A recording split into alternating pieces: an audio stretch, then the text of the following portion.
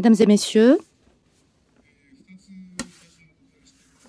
je voudrais vous dire deux choses avant de commencer ma présentation. Euh, je n'avais pas été euh, euh, présent aux deux précédentes sessions, donc je ne suis pas tout à fait au fait de ce qui a pu être discuté. donc c'était le premier point que je voulais signaler.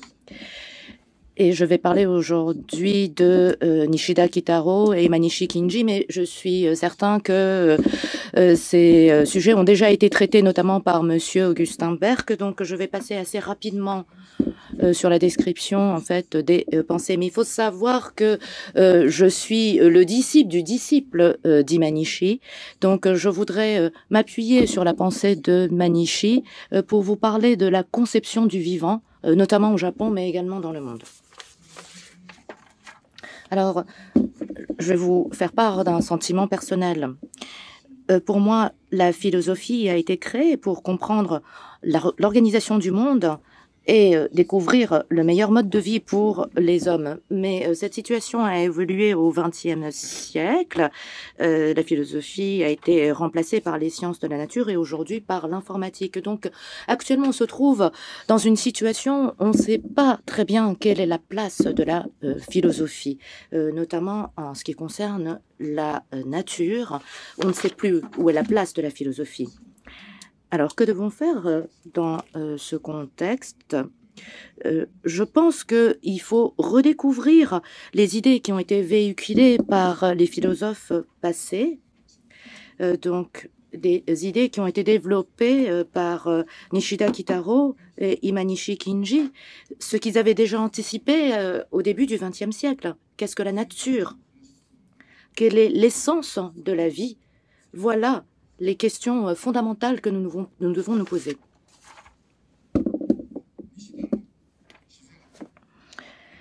Alors, quelle est la euh, conception de la nature selon euh, Nishida? Je vais passer rapidement. il y a le concept de l'expérience pure. L'émotion, à la vue des cerisiers, ne distingue ni le moi ni le cerisier. Il s'agit d'une expérience fusionnelle qui intègre les deux éléments moi et cerisier. C'est le point de départ de euh, Nishida. C'est la différence fondamentale avec la philosophie occidentale quant à la conception du moi. Donc je vais passer cette slide. Alors, quelles ont été euh, les pensées de Nishida par rapport euh, aux sciences de la nature, notamment les sciences naturelles occidentales?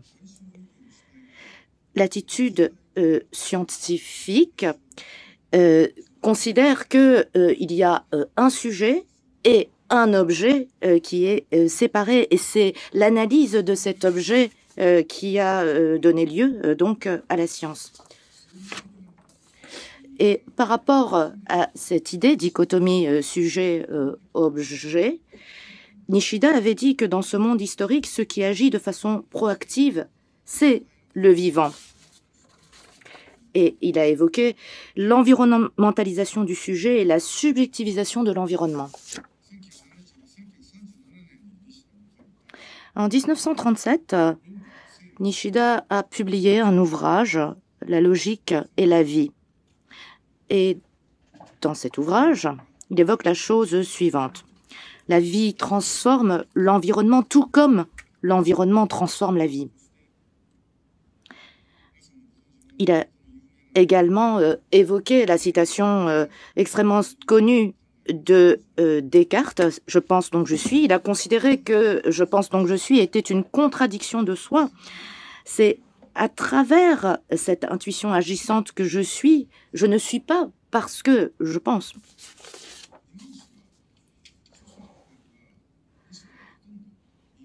Et Imanishi euh, ne se réfère quasiment pas à la pensée de Nishida dans ses ouvrages.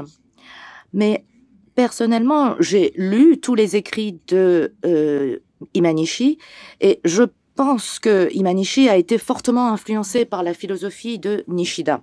Et on peut euh, justement le voir euh, à travers euh, les pensées que je vais vous citer. Imanishi dit par exemple « Je sens, donc je suis ».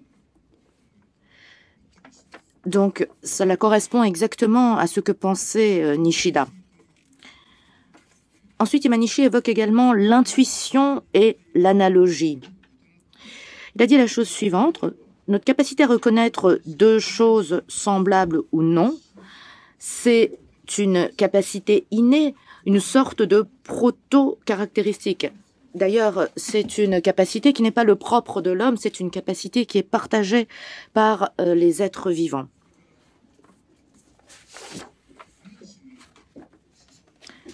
Alors, euh, au sein de la pensée de Imanishi, il y a un élément extrêmement important. L'idée que dans le vivant, il y a une subjectivité. Et cette subjectivité, c'est l'expression de la vie. Donc ce n'est pas uniquement l'homme qui est doté de subjectivité. Tout être vivant a une subjectivité. C'est justement à travers l'acte de vivre que euh, tout être exprime sa subjectivité. Et tout comme euh, Nishida, Imanishi a considéré que les sciences de la nature avaient mis l'accent sur les facteurs non organiques de l'environnement et c'était ça la grande erreur. Alors la conception euh, d'Imanishi par rapport à la nature, c'est la suivante. La nature, selon lui, est une entité intermédiaire appartenant tout à la fois au monde inconscient et conscient. Donc, la nature est située entre le conscient et l'inconscient sans pouvoir vraiment pencher franchement vers l'un ou vers l'autre. C'est là que se trouve ce qu'on appelle la conception de la nature. Et un autre concept auquel Imanishi était très attaché, c'était la proto-identité. C'est l'acte par lequel des individus euh, se reconnaissent euh, comme étant les mêmes. C'est une capacité innée, mais il existe un espace de reconnaissance. On a besoin d'un espace de reconnaissance justement pour que les espèces, les individus puissent se reconnaître. Donc pour euh, parler un peu plus précisément de Monsieur Imanishi, il faut savoir que euh, avait euh, tout d'abord commencé sa carrière comme alpiniste.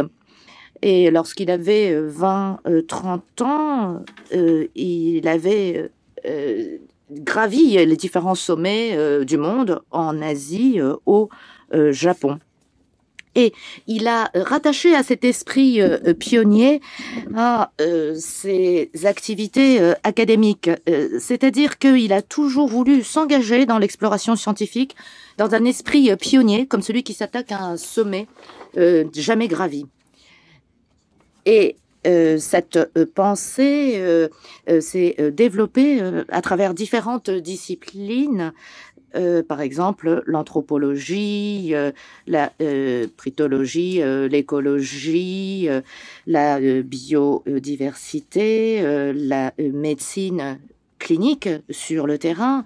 Voilà les différentes disciplines qui sont apparues à partir des recherches d'Imanishi. Et moi, à titre personnel, je suis rattachée à ce que vous voyez à gauche, c'est-à-dire le domaine de la primatologie. Et toutes ces disciplines poursuivent les mêmes objectifs. C'est rechercher les caractéristiques communes aux hommes et aux euh, sociétés. Et Monsieur euh, Imanishi euh, s'est particulièrement attaqué à la théorie de l'évolution de Darwin. Et je pense que Monsieur Augustin Berg l'a évoqué, donc je ne vais pas développer plus avant ce point. Comme vous le savez, Darwin est euh, parti euh, des origines des espèces euh, pour ensuite publier de la descendance de l'homme. Il a voulu expliquer comment l'homme a évolué. Mais en Occident,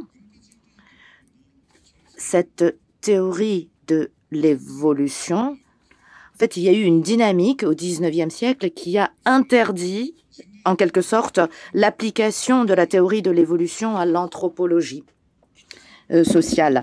Donc pendant euh, longtemps, la théorie de euh, l'évolution n'avait pas été appliquée à l'anthropologie sociale et plutôt aux sciences de la nature et à la zoologie. Et justement, c'est là où il y a la nouveauté de Monsieur Imanishi. il a situé la primotologie japonaise avec une approche d'évolution à la fois sur les sciences de la nature et sur les sociétés humaines. La pensée occidentale est exprimée par les propos d'un philosophe connu, Monsieur Ortega y Gasset. Monsieur Ortega y Gasset avait ainsi déclaré que l'homme n'a pas de nature, mais une histoire. Et l'histoire est transmise bien sûr par le euh, langage. Donc les anthropologues de euh, l'époque considéraient que euh, l'humain et le monde animal se distinguaient essentiellement par le langage. Euh, c'est parce qu'il y a le langage que euh, les hommes sont dotés de société et de culture, et les animaux qui ne sont pas dotés de cette capacité n'ont donc pas de société et de euh, culture. Voilà ce qui était le fondement de la pensée occidentale. Et justement, dans cette pensée, on considère que c'est le langage qui a créé le propre de l'humain, c'est-à-dire la subjectivité, la culture, la conscience. Et on a considéré que euh, les hommes étaient en mesure de créer l'environnement à travers le langage. Mais M. Imanishi avait considéré qu'il y avait un état intermédiaire entre le monde animal et la société humaine. Et justement, l'objectif de M. Imanishi, c'était euh, euh, d'identifier cet état intermédiaire. La société animale est caractérisée par la proto-identité et on peut y trouver du euh, social. Et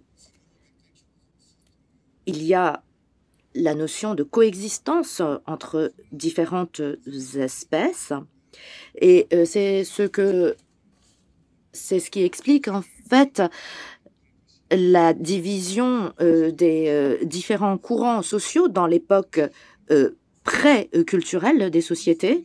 voilà ce que M. Imanishi avait estimé par rapport à la société humaine. Donc Imanishi avait considéré que tout être vivant a sa propre société et que pour chaque espèce, il existe une société spécifique. Même s'il y a des différences physiologiques, des différences morphologiques, euh, chaque espèce a une société euh, spécifique. Et chaque individu est doté d'une perception euh, sociale et c'est cela qui se traduit par l'intelligence humaine. Donc, M. Imanishi s'est d'abord attaqué aux macaques japonais. Il a voulu identifier s'il y avait une société au sein euh, de euh, cette espèce. Il a considéré que euh, faire des études sur l'évolution sociale des primates lui permettrait forcément d'identifier des comportements sociaux dans les primates autres que les hommes. La méthodologie de la primatologie japonaise, c'est la sociologie comparative, donc comparer des sociétés pas forcément humaines. Et la meilleure méthode pour euh, explorer les sociétés, c'est d'identifier chaque individu, euh, d'archiver le comportement de chaque individu pour analyser les rapports entretenus par ces individus et réfléchir à la société euh, qui constitue. Et euh, le premier euh, comportement que Imanishi a identifié, c'était l'opération de nettoyage des patates douces, c'est-à-dire des patates douces qu'on lavait pour retirer euh, la euh, poussière. Et en fait, il y a un macaque qui avait euh, commencé à nettoyer ses patates douces et cette pratique s'est propagée dans toute la tribu. Et donc, ce n'est pas du tout en fait un comportement inné. donc, c'est un comportement qui s'est diffusé au sein de la communauté. donc, c'était le signe qu'il y avait une culture. Donc, une culture, ce n'est pas uniquement une connaissance ou des euh, techniques. La culture est constituée également d'une vie euh, collective et constituée d'un ensemble de comportements nécessaires à vivre ensemble. Donc, euh, M. Imanishi a considéré qu'il fallait reconnaître justement la dimension sociale des sociétés non humaines. est ensuite découvert que ces macaques japonais vivaient dans une structure sociale très définie. Il existait par exemple une relation hiérarchique entre ces différents animaux, ces macaques. Les femelles euh, par exemple, avaient des positionnements très bien précis, des rôles bien précis. Il existait des singes mâles euh, solitaires qui euh, venaient voir ces femelles qui étaient plutôt philopatriques. Donc il y avait vraiment des relations, une structure sociale qui était bien définie dans ces macaques japonais.